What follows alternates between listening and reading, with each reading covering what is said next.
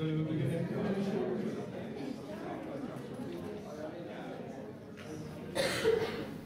uh, welcome everybody to the ateliers. Um, nice to see so many ex-participants of the ateliers in the audience. And some of our sponsors are here, and uh, our friends from uh, Grimm Gallery. Uh, welcome to you all, and welcome to you, William. Our speaker today, William Monk, who is now back on the old nest. He's worked at the ateliers from 2004 to 2006, so that's 10 years ago. Um, we're happy to see you back in the school again, William. Um, he will introduce his work in a lecture of about one hour, and afterwards you have a chance to ask questions or give comments. Um, for now, I'll invite you to switch off your cell phone, and then we can start straight away. William, the floor is for you.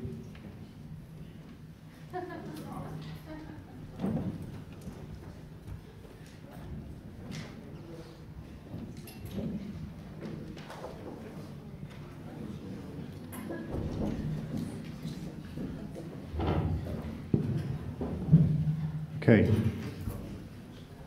So I'm going to start just before I uh, began at De Ateliers. So this is the um, studio I had in Paris. Um, my girlfriend at the time, so now my wife, is French, so we were living in Paris. And uh, I had this uh, uh, studio, tiny little studio in a place called the Territory, which was kind of like a, uh, it was like a squat, except you had to pay rent. So it was, it was, uh, it was a very weird thing run by a very strange Russian portrait painter who was a a, a captain in the French Foreign Legionnaires, and uh, he installed spies in the uh, in the place. It was really a weird experience, but. Uh, I did. Uh, this was the last two paintings I did just before I applied for the for the uh, for the school. I was thinking if I would actually apply to master degrees in uh, London. That's just where my mind was at, and uh, I didn't really know about De Ateliers, and the, the, applications were always at around Christmas time, and this was, I guess this was around May June 2004, and uh, I was Googling and I, and I saw that there's this place called De Ateliers and the Rijksakademie, And I decided that I would apply to De Ateliers. It, it sounded better and uh, it looked better, and I still think it's better. Um, and um, so the, the, this was the last, uh, these are the last two paintings I made just before the application. The, the, um, this one here in the middle is was based on a um, essentially two photographs. There's one photograph of the uh, cockpit of the uh, Enola Gay, the, the plane that dropped the bomb on Hiroshima, um, which I think it's got the next one here, which, which I'm sure we all know what that looks like. Although I didn't use that photograph, I actually found three separate photographs of taken from different perspectives, and I collaged them together to give it more of a wraparound uh, view. And then the, uh, in the background, I wanted something in the background, and um, uh, I used the, uh, stained glass window from the uh, Notre Dame in, uh, in Paris, um, probably because maybe it felt like a, a, sort of a continuation of that, uh, uh, um, that pattern in the, in the, um, in the cockpit.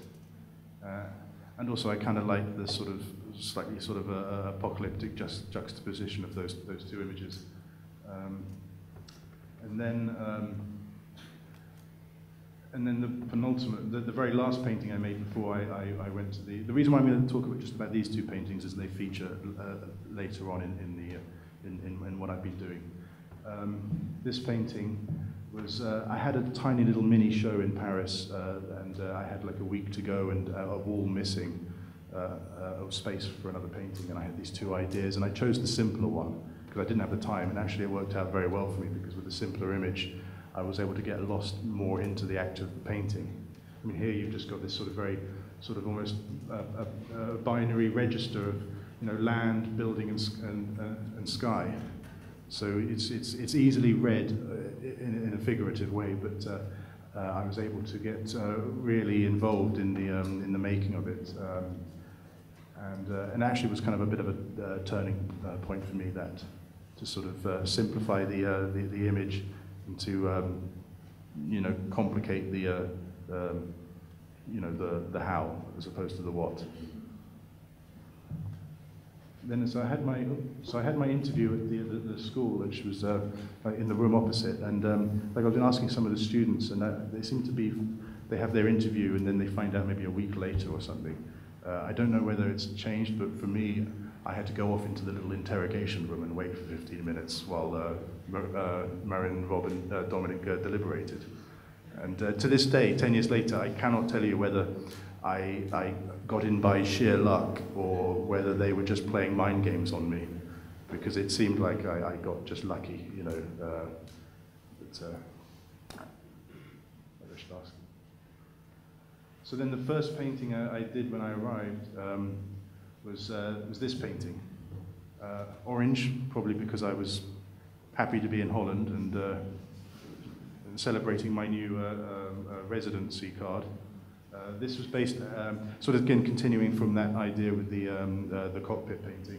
This was derived again from two images sort of collaged together.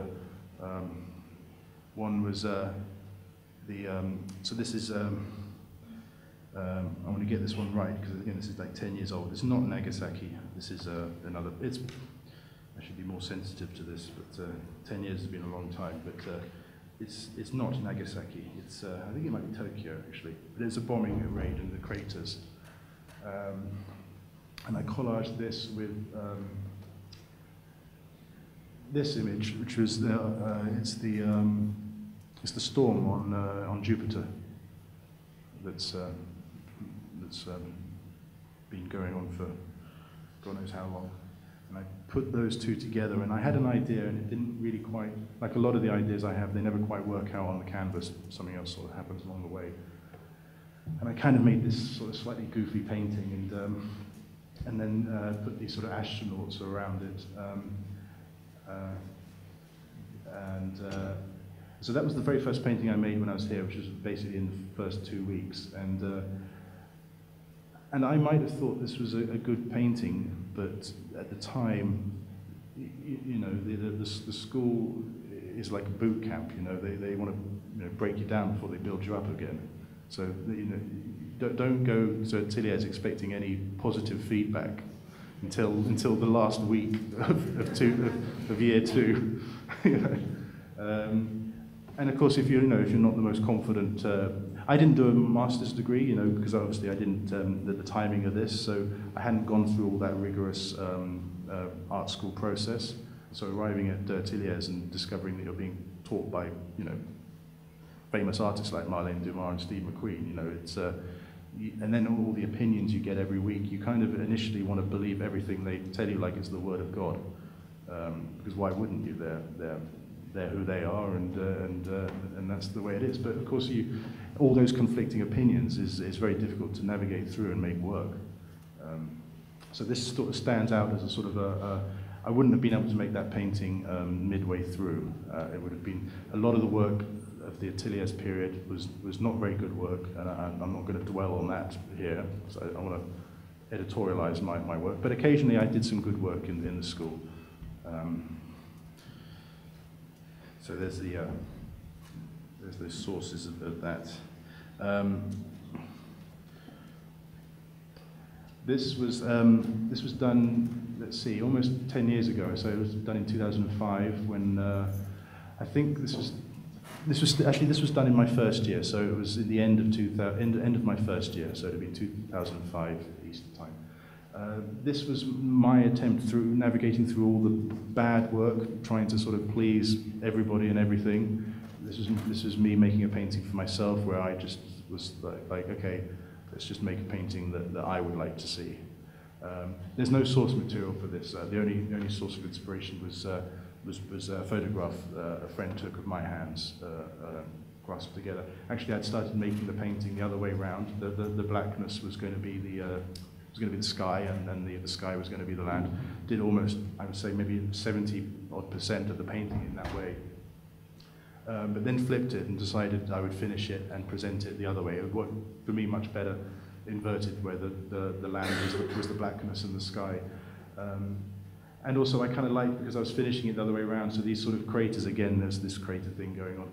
The, the, the craters are kind of pointing downwards and upwards in different directions, so so it gave it a kind of a slight Escher kind of quality to it. Um, I was, um, a, lot of the paintings I make, uh, well, almost all of them, if I'm listening to music, uh, it's the same piece of music throughout the entire painting process. I won't change it. I mean, pretty much almost exclusively like that. Um, you know, like in a casino, they don't want to have clocks, they don't want to have windows, they want you just to you, you not be so aware of time. So listening to the same piece of music repetitively. And also if it's a long painting and you need to get back into the process and, and know where your headspace was, just to play that same piece of music helps get your rhythm back in groove. With this painting, and sometimes you know the, the, it's difficult for me to separate the music from the painting, uh, and that could be kind of arbitrary. But I think in this case that's not quite so. The, the, what I was listening to when I made this was it wasn't music. In fact, it was the um, radio broadcast of um, War of the Worlds by Orson Welles. The one from, um, I think it was the, the 40s, where he managed to convince the, uh, the population that there was actually an alien invasion going on, because he did it in such a sort of a reportage, uh, documentary, realistic manner. Um, um, and also, I had just read this book by uh, uh, P.K. Dick, um, who, who wrote the book that they based on Blade Runner, Do Androids Dream of Electric Sheep? But this book was uh, called Martian Time Slip, and in it there's a character who, who has a sort of a futuristic alternative um, uh, autism, and they, they're seeing things happen, build uh, sort of civilizations, spaces uh, build up, uh, form, crystallize, and decay all within minutes of a, of a, of a normal person's uh, time. And I thought it would be kind of fun to make a painting that was, in my mind at least, uh, having a sort of a, a start, middle, and end. So I would, I, instead of making a bunch of paintings, I would make a bunch of um, uh, paintings of the same um, location on the same canvas and uh, build it up and then sort of decay it and have it sort of uh, um, uh, break apart.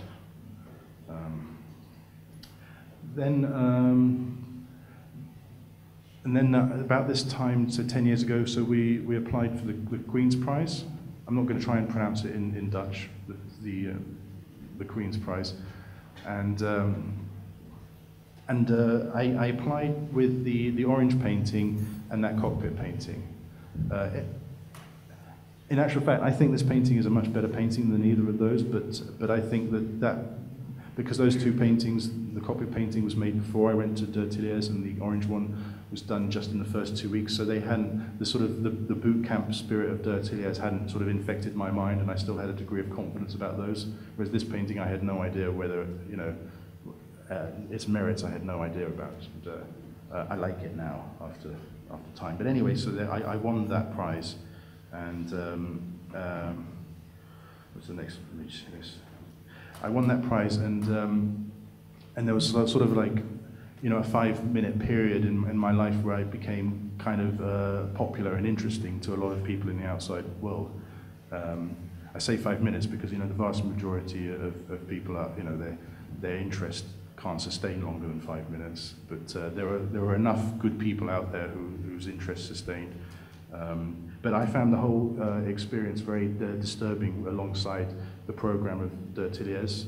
They weren't, I mean, I think if I maybe went to the Rijksakademie, I think I could have weathered that whole uh, external experience much, much better, but uh, it's, uh, I, I, people kind of were responding to the sort of the, the, the, the sort of juicy elements of those two paintings in the prize, uh, and a lot of galleries wanted to visit my studio, and I think they were all probably expecting or hoping to see, you know, 10 or 12 prize-winning paintings. You know, there's a show, let's do that. But of course, that's a very naive assumption if, if you don't understand how the De Ateliers program works. So you could see the look of disappointment on as, as, as um, gallery after gallery would come and visit me and they would walk away kind of disappointed about the amount of unfocused work there was in there. Um, this is where I met uh, uh, Grimm, my, my, my gallerist now of, of, of 10 years. He didn't have that attitude at all, actually. Um, and, uh, and we sort of did a few things um, together, um, it, but we didn't sort of cement the relationship until a couple of years later, which I, will get to. Um, but he actually, uh, a, year after I graduated, he, um, uh, he put a painting of mine in the uh, in the Van Gogh Museum, there was a uh, exhibition of Van Gogh and Expressionism, and there was a sort of a sponsors room where they were, uh, Jorg was able to select a bunch of um, artists, um, contemporary artists that would have some sort of relationship with, with that show, and, and I was in that, and, uh, and that was really great for me. I mean, in terms of the sort of the contemporary art world, quote unquote, the, the Van Museum is not like, but for me, that was one of the highlights of my career to show in that museum, you know, and to share that same oxygen space with, with, with that, that's, those paintings, you know. Um, I wasn't in the same room, but you could actually kind of peer, tilt your head and see Van Gogh, you know, next to my painting, which is pretty, pretty awesome. Um, so anyway, so the, all that sort of um, uh, positive feedback about oh you know we love the juiciness, we love all that color and stuff. I wanted to make a, I wanted to make a painting that was uh, uh, uh, what I thought was against all of that. Uh, I didn't want to sort of appease and appeal to that that that that, that interest. Um, so I made um, this painting, which is uh, derived from those those the source material of the um, of that orange painting. But uh, treated in a different uh, manner. There's, there's no juice, there's no texture, the, the imagery has been cut back. It's much more. Um, um, I'm sorry? Oh, the cross. Okay, yes, yeah, absolutely. Sorry, I'm seeing it at a really weird angle. Okay. There we go. Yeah. Um, yeah, so this was basically my sort of anti-Queen's Prize painting. Um, and um, uh, I, I kept this painting. I, I, have still got it, and uh, and I like it that way. It's mine. Um, this was all actually at the same similar time. Um, so this is now getting towards. This is now, um, I guess, November, December of the um, uh, of the, my second year. So we're now getting into the territory where people, you know, your students are thinking about your end show you know, and uh, the teachers are kind of like pressing you, what are you going to do? And, and, I, and I had very few paintings that either were very good or that I was able to distantly judge as being very good. So at this point, I didn't think I had anything for my end show. And, I, and, I, and, I was in, and I'm including this painting and that, um, that other painting um, in, in the mix, even though I think they're pretty cool paintings now. I like them.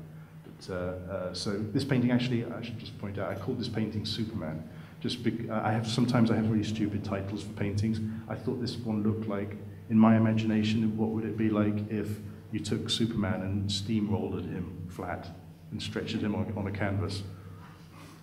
Um, that's not that wasn't the intention when I started the painting. That's just an afterthought. Like it kind of looks like I squashed Superman into a flat pancake and stretched him on a canvas. So I called it I call that painting Superman. Um, yeah. So. Um, um this time, um, I'd, I'd, never really felt particularly inclined to make um, to uh, repeat an image. I'd always felt a new painting was a new image, and, uh, and could never really get my headspace beyond the distinction of those two things. But uh, um, Marin showed me a book on uh, Jasper Johns, and uh, of course I knew who Jasper Johns was, but I hadn't really considered him that much or read much about him. But uh, reading that book was quite uh, um, quite a revelation in, in, in his way of take, taking a, an image and sort of taking it apart and, uh, and, and, looking at it from all angles.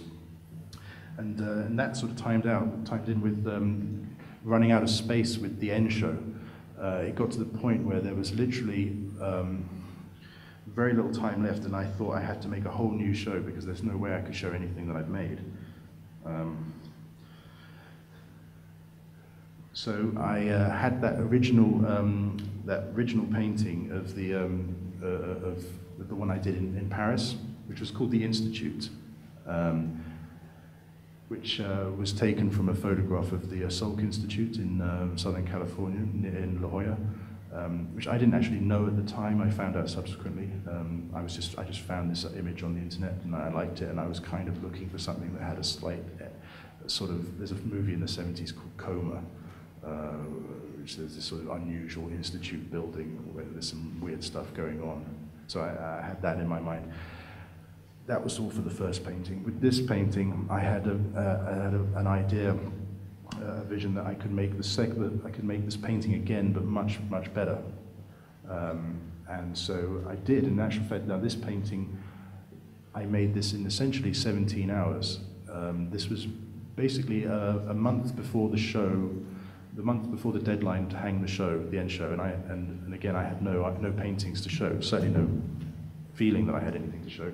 So I made this in 17 hours, finished it the next day, tidied it up, but uh, felt great after a 17-hour painting session. I've never had that again, and as a father of two, I'm probably never likely to. But it was a great. Uh, I, I loved making that painting. I absolutely loved making that painting. And, it- and it occurred to me, and this, ti- this was happening along with the, that Jasper Johns book, and I thought, well, maybe I'll make the show about uh, all the um, variations on this, um, on this, this, this, this, uh, this building. I could make it like a sort of a, a mantra. And, um, um, you know, like the, um, like that Beatles song uh, um, in the White Album, Number Nine, where it's just repetitively saying number nine, number nine to the point where it's the- our idea of number nine is stripped of any conventional meaning and we can supply our own, you know. So the um, the uh, um, so I, I I had four weeks left. I s- I had, I had um, four weeks left, and I made. I thought I made four more paintings. I got the original one. That's five paintings. That will do. That will fit the show. So I made one painting a week for the last four weeks of the show. Um, I had to also make the stretches in that time as well. I mean, I didn't make the stretches all in one go first, which perhaps would have been a clever idea. So I mean, I was three days of making the stretcher, three days of painting it, one day of, of, of sleeping, and then all that all over again for, for the last period of the show. Um, so this is actually me making a couple of them. So this is my studio. So this was this, this is the, the big studio up in the, in the top in the corner. Um, so here's the, the end show.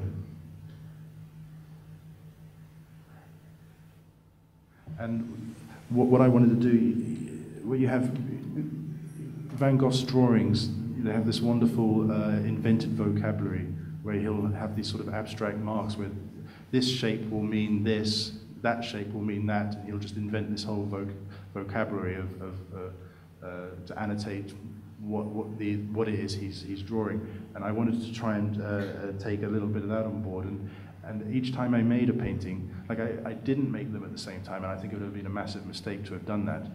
Um, because I wanted each painting to have its own unique uh, character and to be completely separate from, from each other. And if I felt that there was something going on, some annotation, some mark making that I had done that, that seemed to uh, be quite particular to that painting, or perhaps even um, gave it um, uh, its identity, I would make sure that I would not do that in the next one. So whatever felt particular or key to that painting, ditch it, and see exactly, you know, what, you know, how much of the image is is is is is, um, is holding it all together. Again, that sort of binary, you know, the, the sky, building, and land. Um, so that was the end show.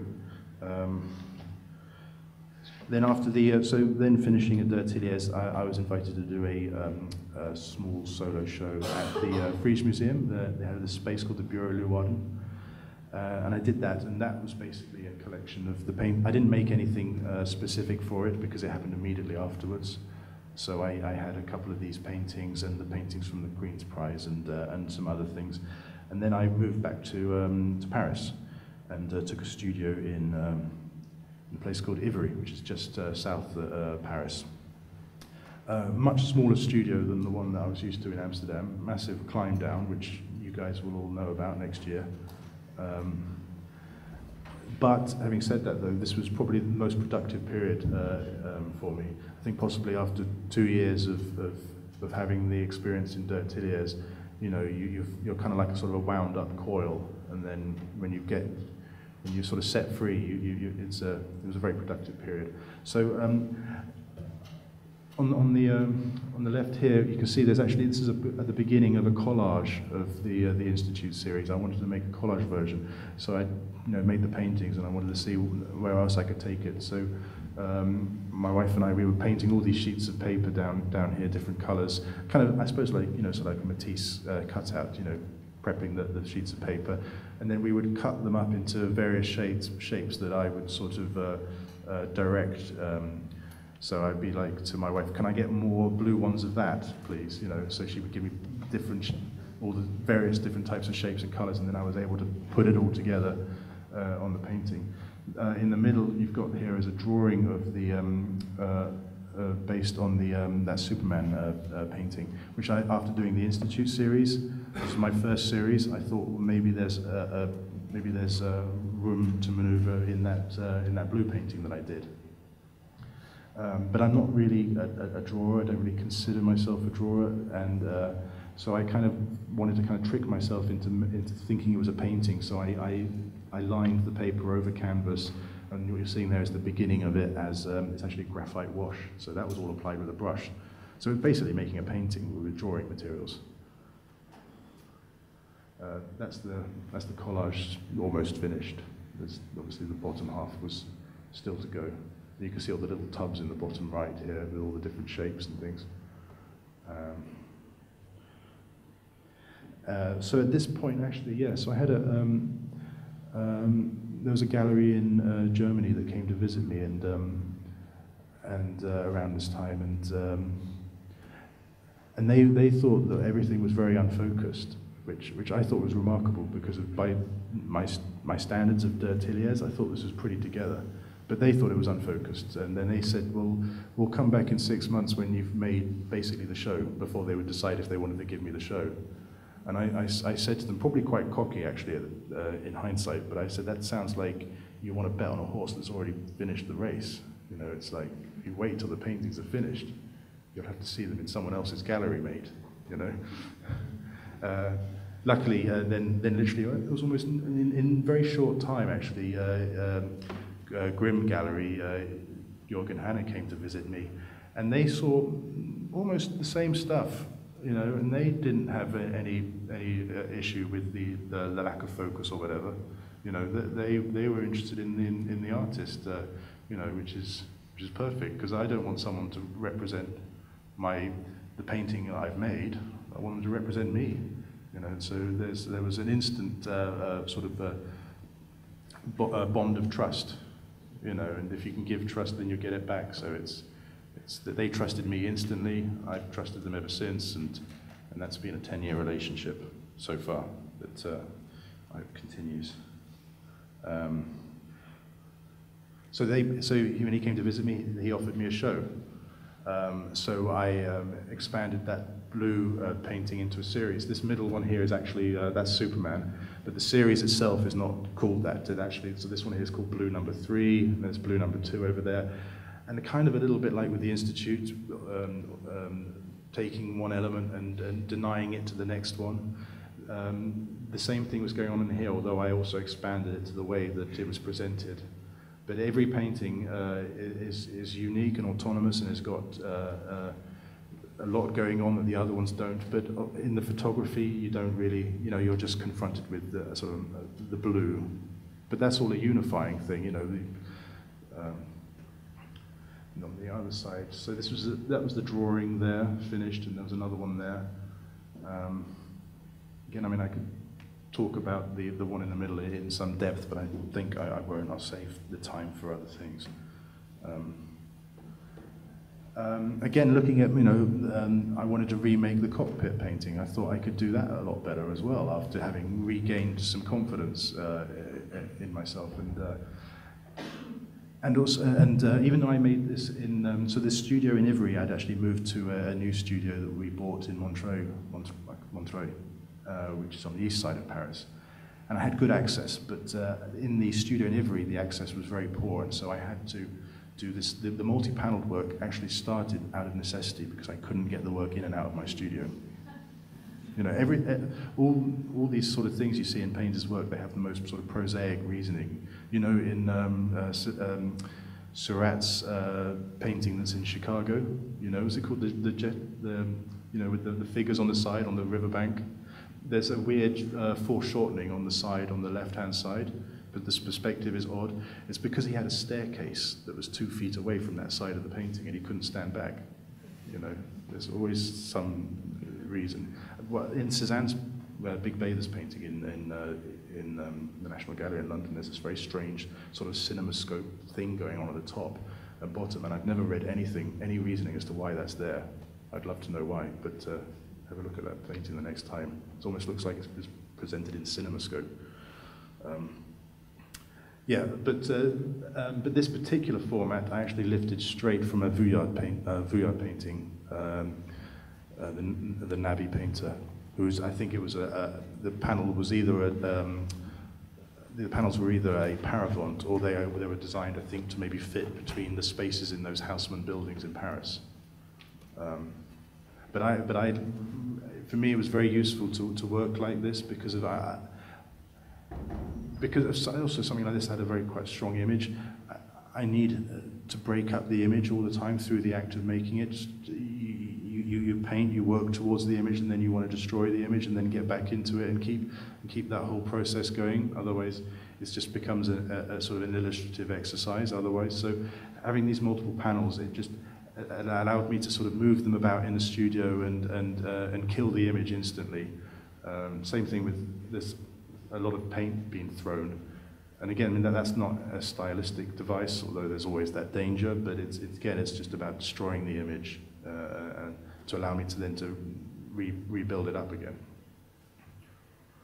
Um, this painting, I'd actually done a painting similar to that. So this is actually my second show at Grimm Gallery although I'd made a painting similar to this in the first show, but it didn't have, uh, but I wanted to show this one because the top part um, is something that, that features later on. I wanted the painting that was largely about the sky, and it was hung quite low, and you're pretty much sort of confronted face to face with just, just the sky. It's very difficult in the photograph, but there's, it's very text, it's very sort of uh, uh, uh textural. And uh, and the, um, this, this shape above, I wanted to sort of do something to, to match the, the, the shape below, so you had this almost concaved space of sky. So it was almost like a sort of a, uh, uh, an unrealistic, or a space that didn't exist in, in the, the, figurative scale of what's presented. You know, it's almost like a stage of, of, of, a, of the sky sort of wrapping around. Um, but this particular shape up here, I, I, I, I used, um, developed it later on. And also, the, so the source material for this, see, is this. Yeah, this is the photograph. So uh, I just basically just cut out the interesting part, the mountain, and concentrated on, on the bottom bit, because it kind of felt like teeth to me. I thought I'd make a painting that had almost like a character of, of, of, teeth at the bottom.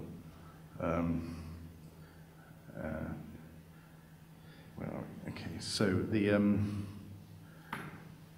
that was the, um, that was my show. Do I not have a show of that? A picture of that show? Maybe.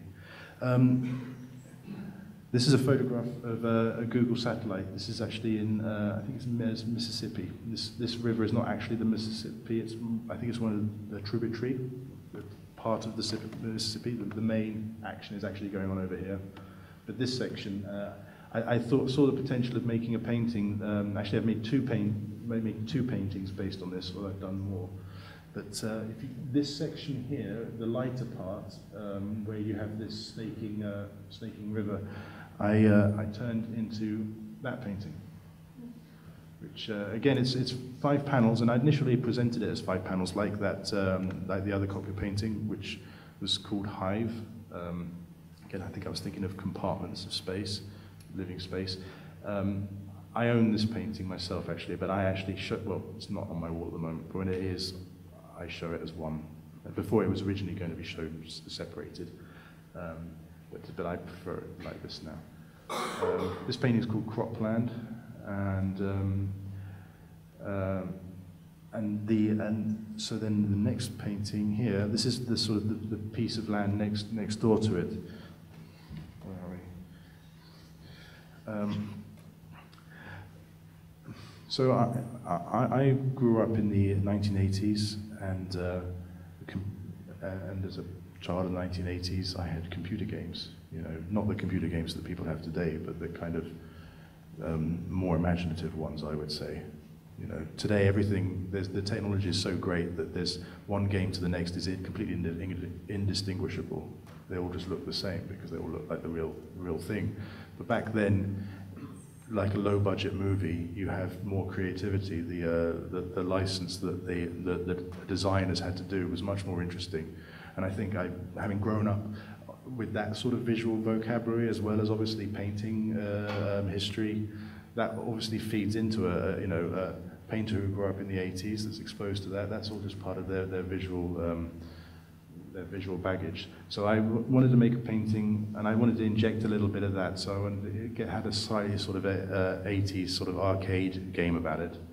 Uh, and the other thing is that in this painting it's four panels, but I wanted to divide the space in seven, um, but independent of the actual panels. So it's, it's I did it um, more explicitly in a, a slightly in another painting, which you'll see, but you, you, can almost see that there's a division of color where the color shifts uh, independently of where the panels are. So I, so I was trying to get some sort of um, uh, friction uh, um, of, the, of, the, way the painting was read as, as, a, as an object, as an, as an, as an, an image. Um,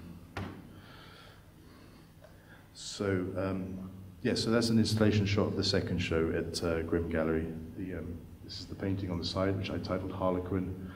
And this painting here, which we saw, which I titled uh, Chrysler, I think those teeth in front, it kind of felt like the, the, the front hood of uh, a Chrysler car or something, so I just called it Chrysler.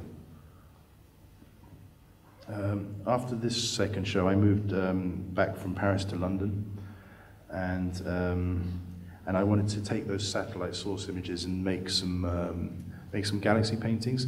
This painting of uh, Cropland I'd actually, this was the third attempt before I got it right. I made two uh, previous ones where I, I messed up, but in the messing up, I'd made completely randomly um, uh, different paintings that would, uh, uh, I described as galaxy paintings, but they, they have different titles. But I, they were sort of monochrome, um, but I wanted to make some uh, two more that had uh, taken to another level. So back, so in London, this is me in my, my studio. Um, the studios are getting a little bit better now. I haven't yet managed to have, I haven't got to the stage where I've got a better studio than the one, the one I had 10 years ago but uh, Ateliers, but incrementally I'm getting there. Um, so this is, uh, um, this is a um, painting that's uh, titled Assembly. Again, this six panels, and, um, and it's the same source of sat satellite imagery underneath there it is, uh, there it is finished. I wanted it to kind of feel like either you might be lying down on the ground looking up at the, up at the stars and using the, the, the source imagery as a, uh, uh, as a, um, um, as a replacement, as an alternative for the, uh, for the universe. Because, I mean, uh, the, the fractals that you see in the universe and on Earth, they, there's infinite uh, similarities. It's all the same stuff, you know. So it seemed when I saw those satellite source images, I thought this could quite easily be converted without, uh, uh, I, could convert this into the, into the universe. Alternatively, you could have seen it as actually being in the universe and looking through it down on Earth, in which case the satellite images is what it is, it is land. So I wanted it to have a, a sort of a, um, ambiguous reading about where you, where you were in, in, the, in the space. Uh, I made another painting at the same time, and um, this is a detail of that other painting, um, slightly larger than this one. So this, sorry, this one I should point, I don't know if you can see from the photograph. So it's like, it's almost four meters long and uh, two, two meters high. Um, here's a detail of the other one. It's, um, they're dark paintings. Uh, when you look at them at a distance or in a photograph, when you see them close up, there's there's a lot of, of color going on in there, and and uh, and again, even they kind of look monochrome or, or duochrome or something like that, but there's actually a lot of drawing and imagery going on throughout there. Um, so um, the previous year, I'd had a, a holiday in the States, and um, uh, and there was this. And one of the things I, I, I liked about the holiday was driving up from uh, San, uh, San Diego to San Francisco, and I loved the, the, the road along the Coast Pacific Highway, I think it's 101 and I thought I really wanted to make a sort of a cinematic road trip painting. Um, I liked the uh, these telegraph poles and the uh, the yellow line you get on the on the road. It's not really visible there, but it's a much more as a, for a painter, it's a much more funkier yellow uh, than that. Uh, certainly more uh, uh, good than the, the roads in England. You can see why they write songs about the roads in America. You, you can't write a song about the M25 in England. Um, And also I'd been thinking a little about the Northern Lights and uh, whether I'd put the Northern Lights over it. But, and I made a painting uh, of that, same size, but it was, it was much more uh, easily read as the Northern Lights. I wasn't happy with that at all, and I thought, let me try and take it to another uh, area where it wouldn't necessarily be read as the Northern Lights. It could have multiple readings. Uh, over here on the on the left, you can see there's a at the bottom there's a watercolor, and at the top there's a woodcut, um, where it shows that there's a little bit more Northern Lights. But basically, I thought, I'm not going to do that. I don't like that. I don't even like the green. Um, so that painting of Chrysler that had that top part, I kind of uh, imagined what might, what might be above that if I continued it. So I, I, I, I designed uh, this shape, if you like, uh, as a kind of um, speech bubble slash atomic explosion slash uh, cloud, northern lights. I wanted it to have multiple uh, uh, readings and be quite sort of uh, stylistically uh, ambiguous. Um, also, uh, the um, from the uh, in the second show, I had planned and wanted to make a, a, a tree painting.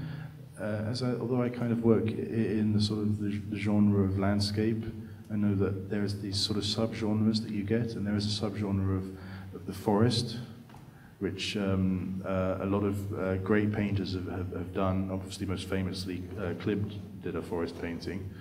Um, and uh, I wanted to do my own. And so, uh, and I hadn't managed to do it in the third, in the second show. Um, I wasn't really quite understanding, quite sure how to do it at that point. But I subsequently sort of figured out an approach. In this photograph, um, I think the reason why it's very difficult to find it is that source material for me is not immediately obvious, like, oh, that's a great painting, I'll just go and paint that. The actual source material is pretty not that exciting. It's, it's, it's, it's, it's, it's what I do to it, hopefully, that, that, that gives it that. So it means that I have to kind of have an idea in my mind and then try and find something that might help me because I'm a figurative painter. I still need some. I need. I still need to put some. You know, some gravy on that meat. I need some something to physically paint. You know, even if I. So, uh, although I want to make a, a, a, tree painting in my mind, which is a pretty abstract concept, just a tree painting, I still need something in which to work from. Um, but this in itself isn't really good when you're searching through loads of images, nothing is springing to mind, and this is not a particularly interesting image, but I took this section up here in, on the left-hand corner, just this, uh, just the top left-hand corner, and then uh, put that in Photoshop, and then with, a, uh, with the mouse, just drew some lines down in front of it. I wanted to give it another layer of, of trees, uh, so I added my own. Um, and then uh, there's, there's, me uh, making, making that painting. Again, I'm, I'm still completely hooked on multi-paneled work, so this is a uh, four-panel painting. It's still really useful for, for me at this stage just to separate the painting and just sort of, if, again, if, if the image is getting too strong, it's, I, can, I can separate it and, and break that apart.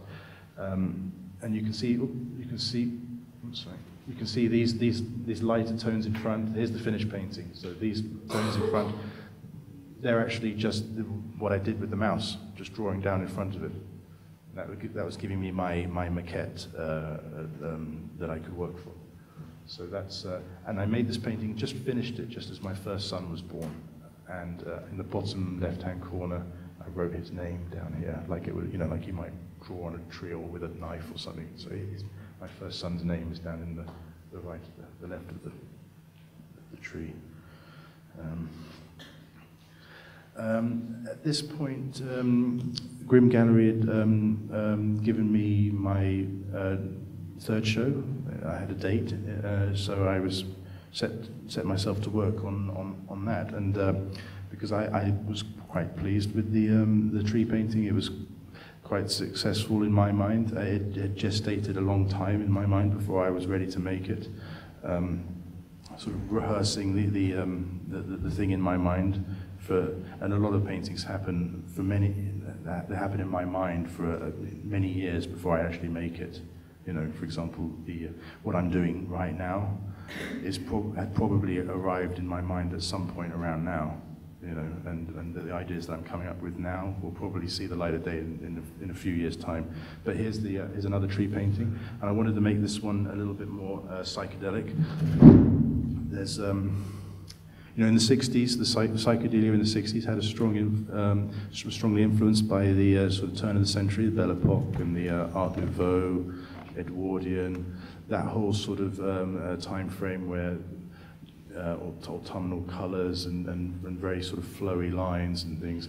And, uh, and um, being influenced by 60s psychedelia and, and, and Nabi painters, the, the Art Nouveau, Mucha, and all those things, I wanted to try and inject all that a lot more into this painting. And then I was reading a book called, um, Tom Wolfe book, um, um, uh, Electric Kool-Aid Acid Test, which is a book that uh, chronicles the exploits of Ken Kesey, uh, who wrote, who was the author of One Flew the Cuckoo's Nest.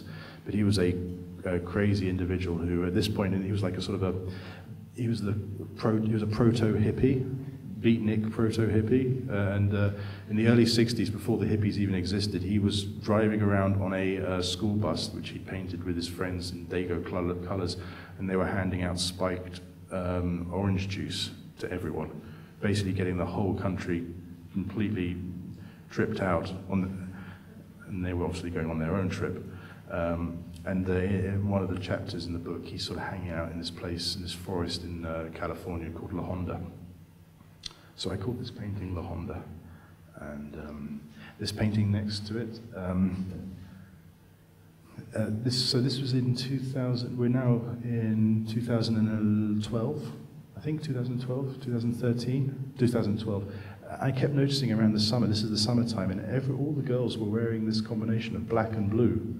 They were always wearing either black trousers and a blue top or blue trousers. And, and, and, but I really loved this particular sort of cobalt cerulean blue next to this black. And, every, and, and I, after seeing this particular fashion for this, this color combination, I was like, I'm going to make a painting with those colors. It's, it's, it's really nice. So I, that, so I, um, I made that. And then when I did it, uh, again thinking about the show and the space of the, um, uh, the Grimm Gallery, which at this point is actually there was a new gallery space. The previous two shows were, were up in the uh, in the Jordaan on the canal. This one was a completely new space for me, and uh, I had the idea that maybe I could make an installation out of this idea. Um, so I, if, I thought if I make two more paintings and I put them either side, I could do kind of something a little bit Kubrick-esque. Um, so I made this little model, and uh, I sent this to Jorg, and and I didn't want to be kind of like, you have to build me a wall, which is what he had to do in order to do it, you know.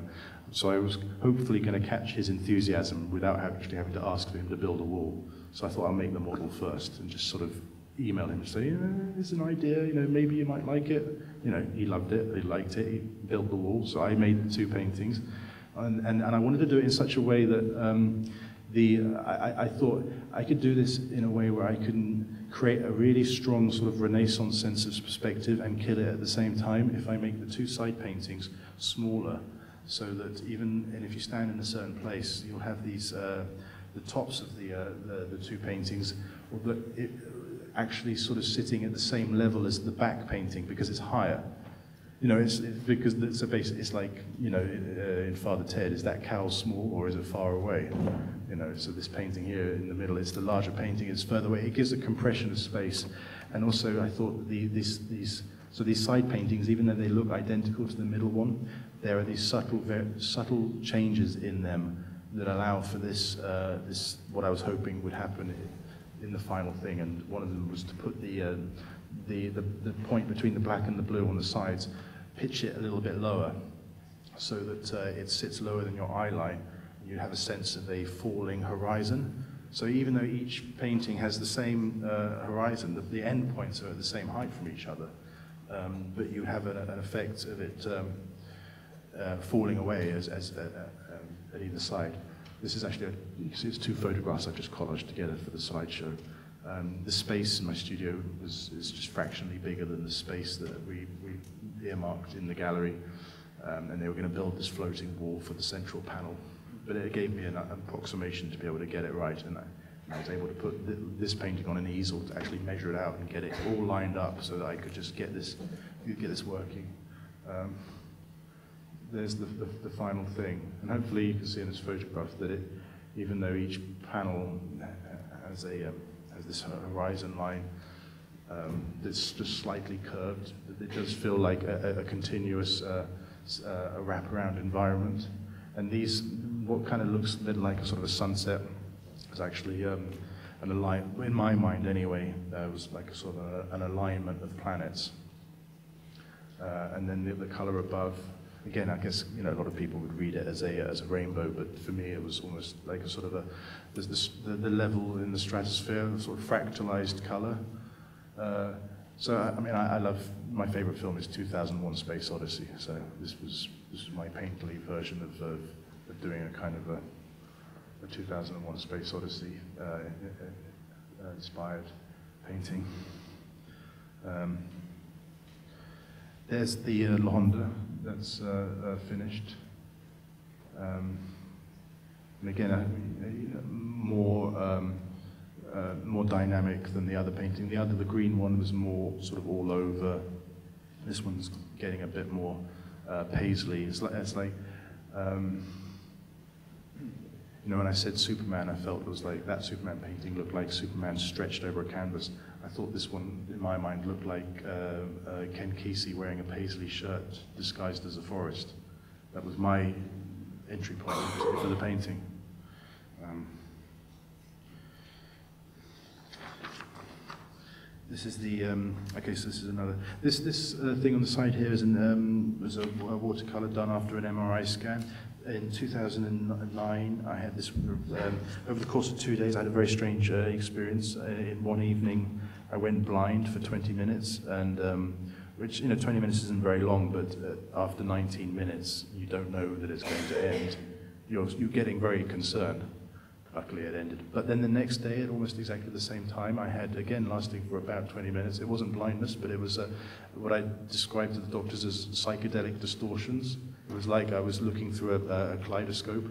And they gave, they did loads of MRI tests on me, um, but they couldn't, um, because of whatever happened at that point wasn't happening during the tests, they weren't able to tell. They, but they, the closest they got was that it might have been what they described as an aura, which was like a visual migraine. Um, um, and um, since then, I haven't had any uh, anything like that. But but if I see uh, red and blue together, a particular what seems what I think seems to be a particular kind of red next to a particular kind of blue, it gets very uh, uh agitated, and, and, I can't look at it, um, and it's it's kind of jumping out at me like in a, in a, so. Uh, in my child's uh, bedroom, he's got this um, this floor mat, which is exactly that blue and exactly that red, and I had to get rid of it because I couldn't I couldn't get in the room. This is the, so this is the, uh, that painting. Now this painting here, um, I titled Further. Further is the, uh, is, and spelt uh, U-R at the end, not E-R. Further with an exclamation point. This, this, um, this title is derived from the bus that Ken Kesey and his, uh, and his Merry Pranksters took around America, handing out uh, uh, spiked orange juice. And um, and I made a, I made three, uh, I made two more paintings uh, of, of, further. There's this, this is the other one I made. This is with copper paint, which was uh, I saw a Frank Stella exhibition around this time, and uh, I loved those uh, copper paintings, so I thought I'm going to make a copper painting.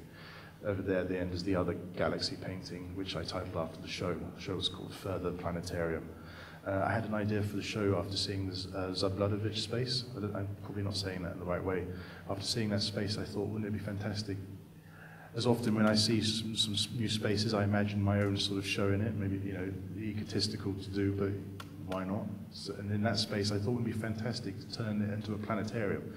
Put, make the, black, the, the, the back room as a, as a planetarium and put the, what, that blue installation uh, of those three paintings in the middle space and then have the sort of the harlequin, the, the, the, um, the satellite imagery in the front and have a, have a real cohesive uh, um, um, space. Maybe you have some sort of planetarium uh, uh, sound effects running through, you know, like uh, um, something out like, uh, I think the person who did the voice for Hal in 2001 narrated a planetarium in Canada. This is um, my second attempt at that Harlequin painting. This is called Arcade. it's a little bit more um, explicit where I've made each panel uh, have that, uh, that color shift. And I gave it a kind of a, uh, I gave it a little system in my mind where I had, um, uh, let me see, because this is like a few years ago now, and, uh, and uh, but you have purple, the, the, the, it's, it's sort of shifting chromatically. So you have purple into, into red in the first one, into the second one goes into orange into yellow, and this third one it goes into green into blue, and then the, and the fourth one back into uh, purple into orange, and it shifts across like that. Um, I was never going to sort of slavishly adhere to that. It's it's got uh, you, it's got to flow more organically, but uh, I, I, kept a little bit of that rule book going on in my mind just to uh, just to see whether it would uh, give it a sort of a, a dynamic tension of, uh, of the colours shifting across. Um, Now, this uh, painting I had been sort of painting on the side while I was making these other shows because this was such a large painting. This is 2.3 meters tall and, uh, and it's, um, it's like five meters long with all the gaps. So I was never going to push this onto any, any sort of gallery situation, uh, especially as I had been making those other big galaxy paintings. And the, the show previous, my second show at Grimm Gallery, had um, Harlequin. So I didn't think this, I didn't think my third show was the right place to show this. Then a New York gallery approached me, uh, the James Cohan Gallery, and they made a studio visit. And they saw this painting in semi uh, state of unfinished, and uh, and they liked it. They wanted me to finish it. They asked me to finish it for the show, which was fantastic because of it was it gave me the time to, to finish the painting that I wanted. So I, I made I finished this painting for the New York show, and. Um, and still on the groove of, of these trees. I wanted to make more. I wasn't ready, and I'm still not ready to stop making these tree paintings because I think I can still take them and push them further. Um, but uh, oh, sorry. So here's some detail shots of the, of, art, of this painting arcade. Uh, I think with the dots up here, I think I was probably being influenced a little bit by late uh, Picasso, and uh, who I think was riffing on um, uh, Bonnard a bit. And I wanted to kind of make it feel a little bit uh, macro, micro, like you could be looking under a microscope, uh, sort of germs and uh, bacterial. But uh, obviously, but, but its source is, is figurative. But the end result, I hope, is a little bit more than just the sum of its parts. Um, here's the third tree painting I made. Um, uh, and uh, this painting over here is a little small uh, uh, silver painting with what's kind of like a sort of a, um, it's called Atomic Flower Power. Um, and uh, I kind of imagined it as a sort of a slightly sort of psychedelic sort of Jasper Johns target got, um, gone wrong. Um, um, but, uh, and I wanted the space to sort of wrap around. So you, you know, you start with the tree painting, which is the most figurative of, of um, and then here I had these, these landscapes, these are woodcuts, which I subsequently developed into a painting in my next show. But uh, here they're woodcuts, and I wanted them yellow, orange, red, so that the, this painting on the, the left would shift across, which would then move around to the arcade painting, and then the colors of that would get more intense, and they would sort of do their, their shifting, which I described and then off to this painting here, using that same um, um, motif um, that I've used previously. And uh, I was looking at the, um, was thinking about the album cover for Dark Side of the Moon, where you have that, uh, that prism that, that, explodes out that sort of fractal um, uh, uh, colored light. And I thought that uh, I could separate the, uh, the, the, sky and the space with this, with a really intense fractal of, of, light. And also I thought that maybe with the, the the colours in the arcade shifting across would almost be like they're shooting out onto this painting, which would then wrap back around to the sort of the full stop of this little explosion. So that was that show in New York. Um, I'm getting, as the shows are developing, I'm getting more and more interested in the uh, in the actual exhibition and the installation, and, and, and rather than just sort of making paintings and just sort of chucking them up on the wall. Um, that show's over, I want to make another tree painting. And uh, a little bit like with the New York, at this point, a gallery in Los Angeles approached me. They wanted me to uh, have a show in their space. Their space was enormous. The, the gallery space was uh, 300 meters squared, and uh, I'd never worked on a scale that large. And, um, and they told me that um, when they came to visit, um, they offered me the show before they came to visit me, actually. And, uh, and then when they said they gave me a show, I immediately had ideas in my mind about Los Angeles, uh, apocalyptic Los Angeles in the 1950s. You know how like every city kind of has a golden age, you know, Paris in the 20s. Los Angeles kind of felt very 50s to me. And so I was immediately thinking about those sorts of 50s colors, pinks and tans and turquoises and things like that. Uh, so I thought I'd try and push this painting a little bit more in that sort of, uh, uh, that, that zone.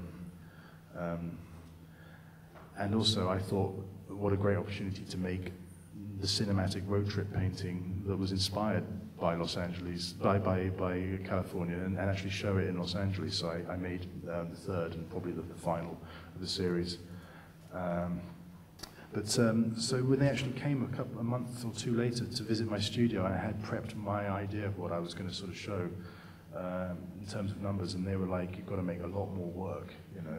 Uh, And one of their artists came to visit me who, who um, basically said the same thing. He said, you know, dude, you've not, you, you've, that's, a th that's an enormous gallery, you've got to fill it. So I'm going into complete panic mode for, oh, incidentally, sorry, one small point is when I made this painting, my second son is being born just about this point. So for the entire duration of, of making my, my show in Los Angeles, um, my, my youngest is, uh, is, is going from zero, he's now 14 months old. Uh, and we have a live work. So it's all, you know, my, my two studio assistants, one's three and a half years old and the other one's 14 months old, so they, they're not that helpful at the moment. Um, um, um, so, uh, and I'm trying to make the kind of, the, the show that I propose for them is, is not only what I want to do, but it's also what I physically can do. Um, but when they say they wanted more, of course I say yes to them because of, not going to say no to them, to them. But I go into a complete tailspin trying to fulfill the demands of this enormous space. Uh, and then, and I'm kind of not showing them what I'm doing because I kind of don't want them to know that I'm kind of failing at, at their expectation. And it gets to the point, it's getting quite close to the, to the show time, and they need to see work now. Then you've got to get some images coming in, they've got to know what's going on. So I kind of send them the emails ex expecting to be murdered the next day. Uh, and, and their response was, it's too much work. So I was like, you know, okay, great. you know, I didn't say anything, of course, you know, but uh, anyway, so this is, the, uh, this is another painting. This was actually the painting that was derived from that woodcut from the New York show. Um, in actual fact, uh, in terms of the, the, the, actual space itself, so this is actually the painting from the, uh, the third show at Grimm Gallery uh, Assembly.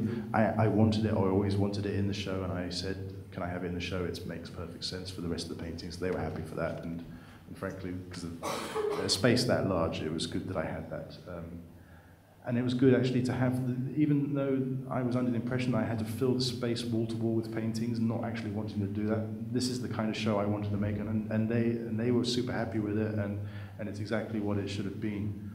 Uh, but it would have been a much more, uh, a less stressful um, making that show over 12 months than, rather than trying to making a show three times bigger and still ending up with the show that I always ever wanted. Um, you know, this, this is not, it has this more space to breathe these paintings like this. You know, I think to overcrowd them, and also, you know, they're, they're, they're, you know, to hang that painting next to that painting, I think would would kill each other. Know, I think that they need to have that space. But I wanted to have the, um, um, so the, as you walk into the gallery, you have the, the further painting with the road, so you have that sort of figurative sense of space running along the gallery wall. And then uh, almost every element of the show is contained in that painting. You have, so you have the land, the trees, the sky. Uh, so on that painting on this side, you've got the, the, the stars, and then on that um, opposite it, you've got, and I, I, titled the show "The Cloud Is Growing in the Trees." I wanted a kind of a slightly, um, what felt like maybe a, a sort of an enigmatic um, psychedelic statement, where I'd have um, this sort of um, this cloud rising, uh, rising here in this painting, and then sort of crystallizing over here in, in, in, in this in the further painting, and then and then dissipating across in the, in the last painting in the back room, which was uh, uh, based on an image that I, have done before, which you'll recognize. Um, so this is the back room. Here's some smaller work, sort of riffing on the on this this this, this concept that I had of of the clouds and the trees. Uh, and here's the this painting actually was made um, the day after. I started it the day after their studio visit, where they told me that my show was not ambitious enough and I to make 10 times the amount of work. So I went into a complete panic and, and made this painting because I, um, I was umming and ahhing about whether I should do it, you know, because the image has been used in the New York show. And then when you've got someone uh, drilling down on you to make a lot of work, all of a sudden those considerations become less important. Just, you know, so I made that. In actual fact, this is the best painting out of the entire series. Uh, but a lot of the paint, a lot of the serial work is presented. Um, the past, it's been presented in one show. So the institute paintings would be in that show, blue paintings in this show. But I don't. I'm not working in that sort of head mode. Like I, I've got my um, blue painting hat on or whatever. So it's much more free flowing and organic. You know, the tree paintings you could constitute as a series, but I've got no intention of showing them as a series. I will make they're also very draining to make. They take a long time to make, about three to four months to make each. So uh, as soon as I've finished one painting, uh, one of those tree paintings, the last thing I want to do is to make another one. So I've been kind of making one a year, and I'm ready to make another one now. I've got a really good idea for another one. Um, so this, I think that one there is the best one. So the, the gallery, the, the only reason why I'm showing this uh, picture is to show off. That's it. There's no real reason other than that. It's just, you know, it's because it's Los Angeles, you know, it's not a walking town, it's all by, by car, so they have the big adverts and things like that. So it's enormous uh, poster of my, uh, my painting on, on, their, on their wall. With, with, so I'm just showing off, that's it. I, lo I love it. That was one of the highlights of going to Los Angeles, was seeing that. Yeah. Yeah, yeah. If you just want to quickly just see the last painting I'm working on, I'll just say it. There it is. That's what's in the studio at the moment.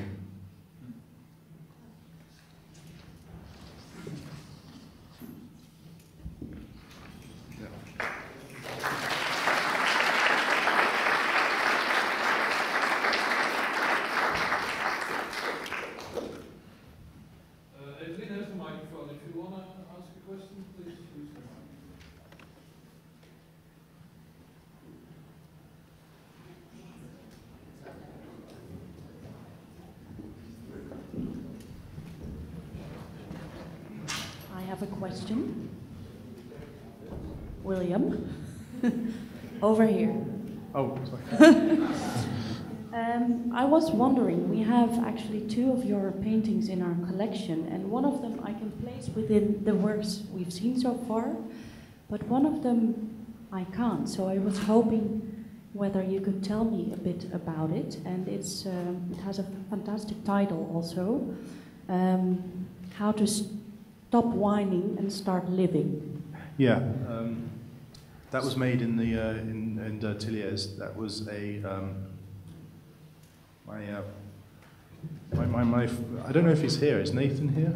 One of my friends from uh, Ateliers was a collage artist, and uh, he had loads of source material and stacks of archival stuff, and uh, and I was just looking through that, and I saw and I saw these two uh, um, two images that I really liked, and I said to him, "Can I can I take these? Can I use them?" One was a picture of um, uh, I guess uh, 19th century or turn of the century um, people who are standing around uh, this sort of sequoia trees in the forest, I guess in the redwood forest, probably in California, uh, and they're all holding hands. And another photograph was of a um, again, a sort of turn of the century uh, oil oil rig, oil well, kind of like what's that film that came out a few years ago? There will be blood. You know that that sort of that, that sort of thing. And I just uh, I just saw these two images and I thought this these these two images work together in, in, in a more interesting way together than, than in their own individual parts. And also there was a, um, a book uh, that um, my friend had that um, was an atlas. Again, it was a turn of the century atlas and I thought I would paint uh, these people in this environment using the index of the, the, the 19th century atlas. So, the, uh, so I uh, basically lined the, um, the atlas, um, the index of the atlas on the, on the, uh, the paper, and then paint that, and then that's the image. That's, so it's those three things. And then the title is from a, a self-help book. Just do it. Thanks. Yeah. Yes, I mean, yeah, that, yeah, exactly. How to stop whining and start living, yeah. Yeah, and then it was funny because then, I, uh, yeah, ING Bank bought it. Yeah, how funny is that? Perfect. um,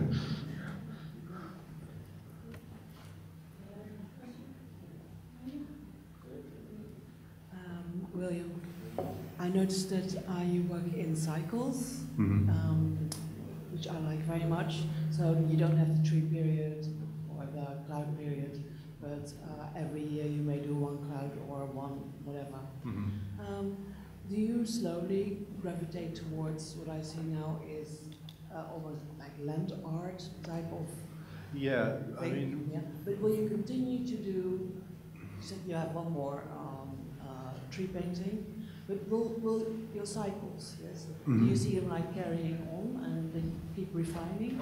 Yes, I think the, the imagery is getting uh, uh, simpler and perhaps you, you could say more prosaic in, in the sense that you know th- those first slides, you know, uh, um astronauts on a planet or, or cockpits. You know, I wouldn't paint uh, uh, the Enola Gay again. I think it's, there's too much. Uh, I, I mean, I'm not. I love those paintings. I mean, I'm very proud of them. But uh, I, I like. Um, I want the. Um, I, I'm, I'm more into uh, simplifying the imagery, and, and uh, so yeah, the, uh, sky, trees, the, these sort of more elemental uh, things, and um, in replace of that, you have something else, which is the, the actual physical painting and the experience, all the stuff which you don't get from seeing the painting on the slides. I mean, if, if I was going in the other direction and I was abandoning the, the, the way they're painted and their physical being, it's concentrating on the uh, on more the imagery, then the slideshow would be a much more dramatic, interesting thing. But I mean, it's better to see the paintings than to than just to see, because all you're getting here is iconography, and I'm and I'm reducing the iconography, and you know.